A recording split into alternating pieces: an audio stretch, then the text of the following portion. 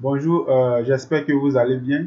Euh, dans cette nouvelle vidéo, euh, je vais vous montrer comment y accéder aux paramètres de flambement.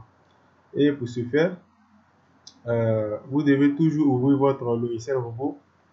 après, vous devez toujours accéder au système de bureau de démarrage, c'est-à-dire le menu de bureau de démarrage qui se trouve juste ici.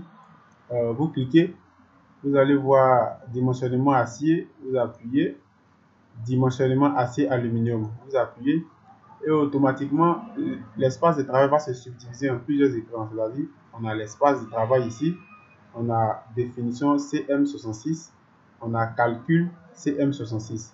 Ici, ce qui nous intéresse, c'est définition CM66. Moi, j'ai sélectionné une barre, c'est-à-dire j'ai sélectionné la barre 3 par exemple. Lorsque vous sélectionnez une barre, vous devez être à mesure, c'est-à-dire vous devez toujours vérifier dans la liste des barres le nom de la liste des barres doit être aussi 3. Le nom de la pièce doit être 3. Vous ne pouvez pas sélectionner par exemple une, la barre 1 et ici, euh, par exemple, dans le nom de la pièce, c'est la barre de nom. Parce que le robot va toujours euh, indiquer en fonction de la sélection que vous avez faite. Et ce qui nous intéresse ici, nous devons accéder aux paramètres de fondement. J'appuie sur paramètres et automatiquement, vous allez voir cette petite fenêtre qui va apparaître. Vous allez voir type de barre, flambement autour de l'axe Y, flambement autour de l'axe LY, flambement autour de la barre euh, Z. Excusez-moi, ici, c'est de la barre Y.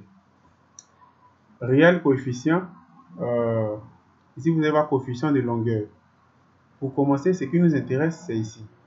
On appuie. Et vous allez voir des petits éléments, c'est-à-dire des petits symboles qui vont apparaître. Pour les paramètres de flambement, ce qui nous intéresse ici, c'est celui-là.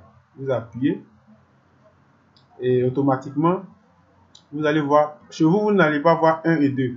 Vous devez marquer 1 et 2. Regardez, je l'efface. Je marque 1. Euh, je l'efface ici. Je marque 2.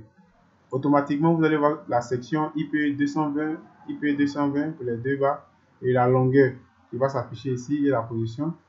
Et tester la barre, c'est-à-dire n'oubliez surtout pas que au début nous avions sélectionné la barre 3. Donc robot là toujours en tête. Ici vous voyez 3 et la valeur va euh, la valeur va s'afficher ici automatiquement. Après avoir terminé euh, pour cette partie, vous appuyez OK.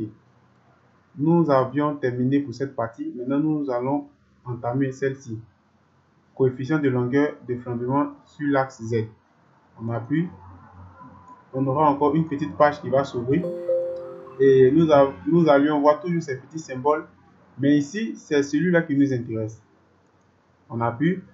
Euh, nous, nous, allons voir flambement sur la Z. Ici, c'est pour juste placer les réducteurs. Voilà, pour juste placer les réducteurs. Je vous montre un exemple.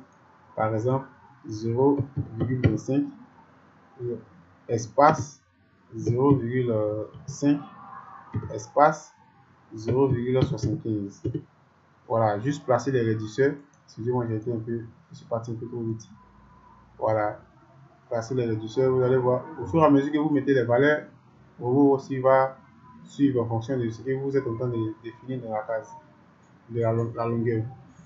Maintenant, l'autre qui se trouve juste en bas, on est dans les endroits où sont présents les éléments aboutissants dans le plan de fondement. C'est-à-dire, vous, vous devez toujours vous assurer que le numéro de la barre que vous avez choisi au départ est toujours la barre 3. Lorsque je vous ai, lorsque j'ai ouvert robot et j'ai parlé des paramètres de fondement, moi j'ai sélectionné la barre 3. Toi, tu peux sélectionner la barre 4, 2 ou 1. Mais tu dois t'assurer que pour, le, pour, le, pour la barre ici, ça doit être toujours une barre 3. Ça, ça ne doit pas être 1 bas 1 ou 2 bas 1 et 2 bas 2, toujours 3 bas 3 parce que au début j'ai sélectionné la barre 3. Et lorsque vous terminez avec ça, vous appuyez juste simplement OK et ça signifie que vous aviez terminé avec les paramètres de flambement.